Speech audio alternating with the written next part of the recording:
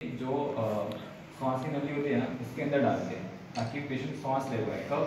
जब एकदम इमरजेंसी हो, जब पेशेंट का वाइट जो भी पी वगैरह सब गिर गए या पेशेंट जवाब नहीं दे रहे, अगर पेशेंट की अगर हार्ट बीट अगर चल रही है तो हम लोग ये यूज़ करते हैं, ठीक है? तो मैकेनिकल जो ये प्रोसेस है मैकेनिकल प्रोसेस बोलते हैं इसको। ये मैकेनिकल होता है जैसे होल्ड करेंगे तो जस्ट ये लाइट ऑन हो जाती है, ठीक है? और पेशेंट को अंदर डाल के पोजिशन पर रहेगा पेशेंट तो उसको अंदर डाल के हम लोग उसको ऊपर करते हैं तो ये ये रहा ट्यूब है ये अंदर का ये डाल के सिर्फ़ ऊपर करते हैं इसको ठीक है और अंदर से एक ट्यूब अलग से पाइप डाल देते हैं